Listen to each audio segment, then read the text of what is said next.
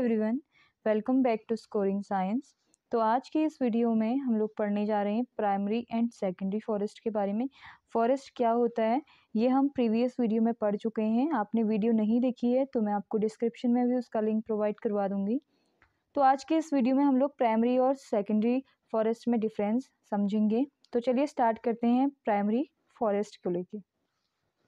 तो देखिए primary forest have been divided as naturally regenerated forest of native tree species where there are no clearly visible indication of human activities means कि ऐसा forest जहाँ पे human का interferes मानवीय हस्तक्षेप बिल्कुल भी नहीं होता है और जो नेचुरली ग्रो कर रहा होता है और जो नेचुरली रीजनरेट कर रहा होता है मीन्स सपोज़ जहाँ पे कोई प्लांट है कोई प्लांट डेड हो जाते हैं, या प्लांट गिर जाता है, गिरने के बाद वहाँ से उसके बाद खुद से रीजनरेट हो जाता है लाइक उसके स्टेम या सीड्स उसके कहीं गिर जाते हैं तो वहाँ से पेड़ आना स्टार्ट हो जाता है है ना? मीन्स कि विदाउट ह्यूमन के इंटरफेरेंस से जो फॉरेस्ट ग्रो होता है, उसी को बोलते हैं प्राइमरी फॉरेस्ट आई बात समझ में? जिसको ह्यूमन ना ही लगाते हैं और ना ही उसको काटते हैं उनका उसमें कोई भी कंट्रीब्यूशन नहीं रहता है और सिंपल सी लैंग्वेज में उसी को हम कह देते हैं प्राइमरी प्राइमरी मतलब प्रिमेटिव प्रिमेटिव मतलब पहले। ठीक है? तो देखिए नेक्स्ट है a forest largely undisturbed by human activities हाँ तो वही चीज़ है, यानी कि ह्यूमन एक्टिविटी से डिस्टर्ब नहीं होते हैं। ह्यूमन इंटरफेरेंस मीन्स नहीं होता है। या फिर आप कह सकते हो कि untouched forest that exist is in its original condition और जो अपने क्या होते हैं ओरिजिनल कंडीशन यानी कि अपने प्योर फॉर्म में होते हैं में से आपको जो भी डेफिनेशन समझ में आ रही होगी तो आप वो लिख सकते हैं और उसी, उसी के बेस पे एक्सप्लेन कर सकते हैं एग्ज़ाम्स में। तो देखिए नेक्स्ट टॉपिक है full canopy and usually several layers of understory. तो यहाँ पे क्या होता है, कैनोपी जो होती है, वो फुल कैनोपी होती है। कैनोपी मीन्स मान के चलो आपकी लॉन्ग ब्रांचेस और फुल्ली डेवलप्ड ब्रांचेस अच्छा खासा मोटा सा स्टेम होता है वुडी स्टेम होता है ब्रांचेस काफ़ी वुडी होती हैं और पूरा फैली रहती हैं। तो उसको बोला जाता है कैनोपी और उसके नीचे several layers of understory next point है ground floor is generally clear of heavy vegetation because the full canopy allows very relative light necessary for plant grow to penetrate ठीक है? तो देखिए, अभी मैं आपको इसको इमेज के थ्रू समझाती हूँ। एक फॉरेस्ट का पिक्चर है तो इसमें देखिए, यहाँ पे आपको ट्रीज दिख रहे हैं कहीं कहीं पे। दिख रहे हैं ना? तो ट्रीज़ के नीचे आपको क्या दिख रही है? वेजिटेशंस दिख रही हैं। और ये ट्रीज़ क्या हैं? ट्रीज़ को काफ़ी ब्रांचेस इनकी काफ़ी फैली हुई हैं और लीव्स उनके प्रॉपर फैले हुए हैं, है ना? तो इनकी मतलब कि आप कह सकते हो कि अच्छी कैनोपी है इनकी, ठीक है? अब देखिए क्या होता है प्लांट्स को ग्रो करने के लिए क्या ज़रूरत होती है? सनलाइट की ज़रूरत होती है। सनलाइट होगी, तभी तो क्या बनाएँगे? फोटोसिंथेसिस की प्रोसेस करेंगे और अपना खाना बनाएँगे।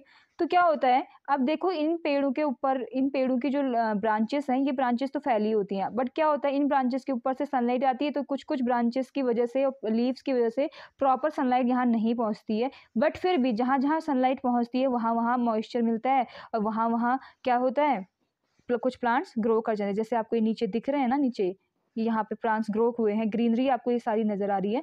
तो ये क्या हो रहा है? यहाँ से इन प्लांट से छन के जो सनलाइट आई हुई है, नीचे आई है, उसी सनलाइट के सहारे ये छोटे छोटे प्लांट्स यहाँ पे ग्रो कर रहे हैं। आई बात समझ में? फिर है this forest is the most biological diverse type of forest diverse means होता है डिफरेंट वेरिएशन वेराइटी मतलब कि यहाँ पे जो बायोलॉजिकल फॉरेस्ट होते हैं, इनमें क्या होते हैं? अलग अलग टाइप के। इसमें आपको क्या दिख जाएँगे? देखिए, इसमें आपको दिख जाएँगे श्रब्स दिख जाएँगे फर्न, यहाँ पे आपको नज़र आ रहा है ना, फर्न के पेड़ नज़र आ रहे हैं। श्रब्स दिख जाएँगे अलग अलग टाइप के ट्री, जो कि कभी हम लोगों ने प्लांट विदाउट हमारे इंटरफेरेंस के वो आराम से ग्रो कर रहे हैं, और तो प्राइमरी जो फॉरेस्ट होते हैं ना, यहाँ पे वेराइटी बहुत दिख जाती है।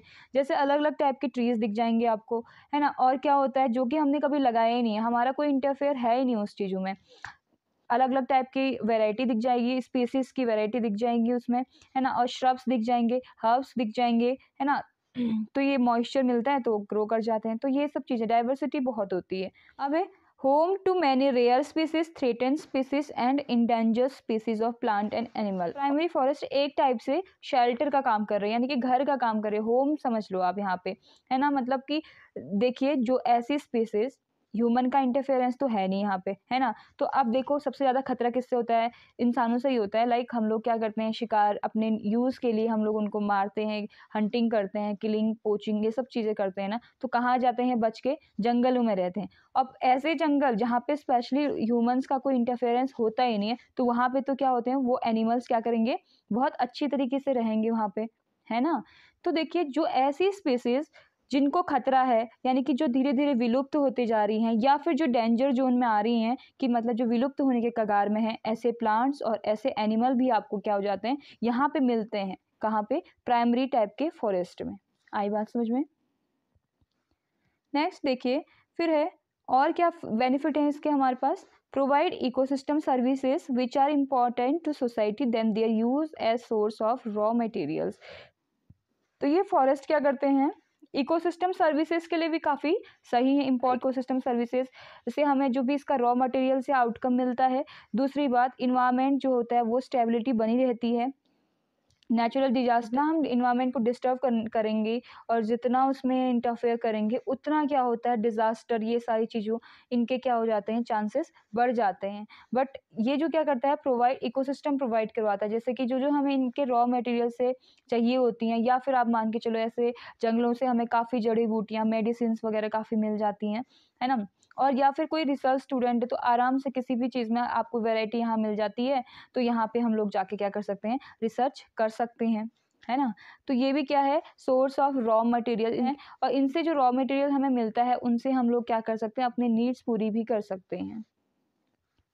देखिए और इन सर्विसेज़ में क्या है? इसमें दिख रहा है हमको ब्रीथेबल एयर है। हाँ अच्छी खासी हमें क्या हो जाती है? एयर मिल जाती है ऑक्सीजन मिल जाती है।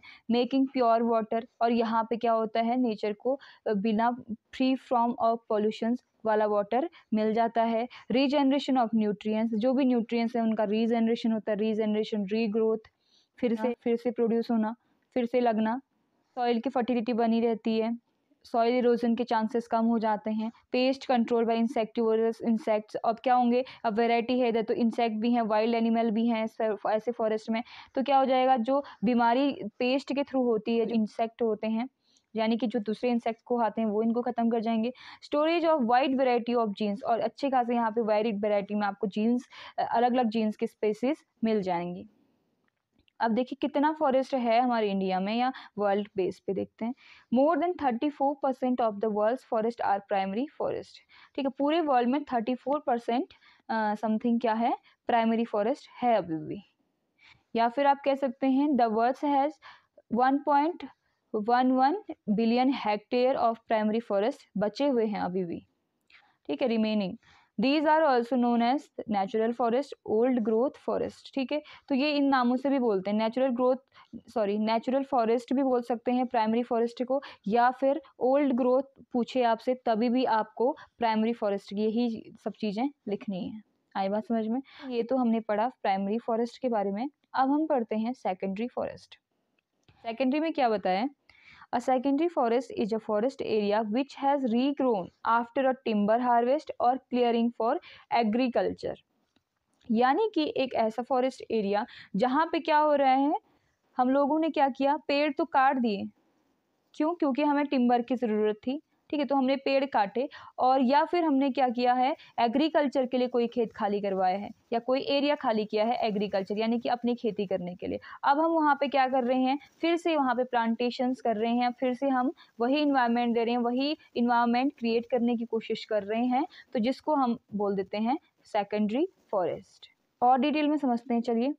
Forest regrowing after natural disturbance such as fire insect infestation और wind throw or wind throw because the dead trees remain to provide nutrients structure and water retentions after natural disturbances अब देखिए natural disturbance मतलब कि natural disaster प्राकृतिक आपदाएँ जो आ जाती हैं जैसे कि फायर होता है फॉरेस्ट फायर तो बहुत ज़्यादा देखने को मिलता है या इंसेक्ट का जो इन्फेस्टेशन होता है मतलब कि फॉरेस्ट क्या होता है इसमें नेचुरल डिजास्टर यानी कि नेचुरल डिस्टरबेंस होने के बाद जो फिर फॉरेस्ट फिर से वो पहली वाली स्टेज में आने की कोशिश कर रहा है। फिर से हम उस चीज़ को प्लांटेशन करके वही सब चीज़ें बनाना चाह रहे हैं, जैसा पहले फॉरेस्ट था तो उस चीज़ को हम बोलेंगे सेकेंडरी फॉरेस्ट आई समझ में बात? Natural disturbances the timber is harvested and removed from the system more closely resembles secondary forest rather than serial forest तो natural disaster होने के बाद natural disturbance या like हम लोगों ने बहुत ज़्यादा मात्रा में वहाँ से पेड़ काट लिए या फिर insect का कोई ऐसे हमला हो गया या insect की वजह से आपके जो सारे plants हैं वो क्या हो रहे धीरे धीरे डेड होते जा रहे हैं या कोई खेती है खेती भी में भी आपके इंसेक्ट का कंट्रोल नहीं है तो इस वजह से भी क्या होते हैं धीरे धीरे धीरे धीरे ये सब चीज़ें क्या होने लगती खत्म होने लगती तो उस चीज़ को मेंटेन करके रखना और पहले जैसा बनाए रखने के लिए और प्राकृतिक जो आपदाएँ हैं उनसे बचने से मूव ऑन करने के लिए ये सब चीज़ें फिर से की जाती हैं। ये तो हो गया सेकेंडरी फॉरेस्ट आई होप आपके लिए वीडियो हेल्पफुल रही होगी। अगर आपको वीडियो अच्छी लगी तो प्लीज़ जाके सब्सक्राइब कीजिए लाइक कीजिए और हाँ शेयर तो आप कर ही देंगे।